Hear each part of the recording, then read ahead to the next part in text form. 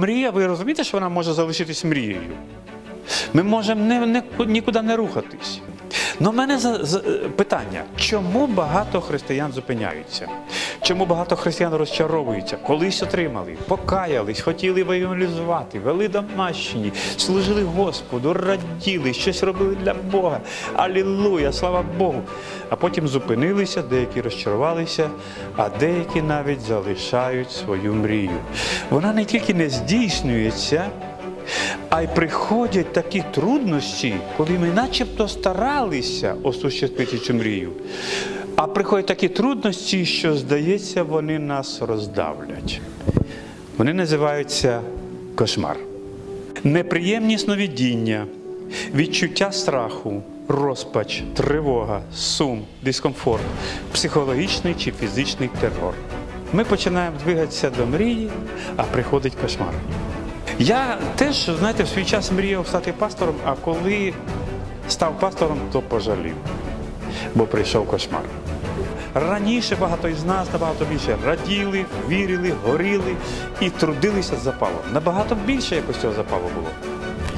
Але прийшов кошмар, хтось нас зрадив, друзі залишили, Бог перестав відповідати, невіруючі не каються, здоров'я похитнулось, прийшла самотність, тупік і темрява. І думаємо, а чи була в мене взагалі та мрія? Може, я щось перепутав. Хочу сказати сьогодні і поділитись з вами одним відкриттям дуже серйозним. У кошмар нас веде Бог. Поздравляю. У це состояние нас привів Бог. У Бога є на те причини. Перший кошмар веде нас до пізнання, хто ми є насправді. Кошмар може тебе зупинити, або ти зрозумієш, від чого тобі потрібно визволитись.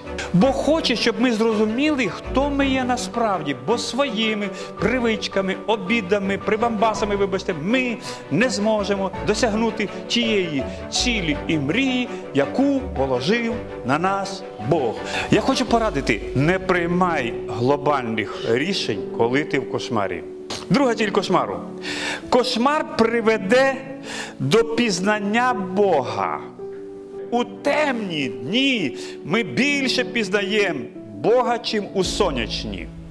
Коли в твоє життя приходить давлення і темрява, там Господь. Коли мгла, коли темрява, коли проблеми, коли нема просвіту, коли ти не бачиш кінця тупика, коли ти в тупик повний попав, знай, що Бог рядом і, можливо, одна із причин, чому він допустив оці проблеми і цю темряву, щоб ти знайшов Бога і з Богом старався осуществляти цю мрію.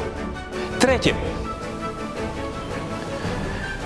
Кошмар приведе нас до виклику, чи почнеш ти платити ціну. Бо без ціни ти не зможеш виконати. То Христос сказав, цей род ізганяється тільки молитвою і постом. Кошмар допоможе закрити дияволу рот і отримати від Бога відповідь. Послухай, якщо ти устоїш і зрозумієш, іменно через давлення Бог хоче, щоб ти прорвався, Бог сильно тебе благословить. І ми знаємо багато прикладів. Тобто це кошмар це дорога до благословіння, дорога. Навіть якщо ти бачиш, що ти потерпиш неудачу, стоїть рискнути. Тому що невдаха, неудачник це не той, хто потерпів невдачу, а невдаха це той, хто зупинився.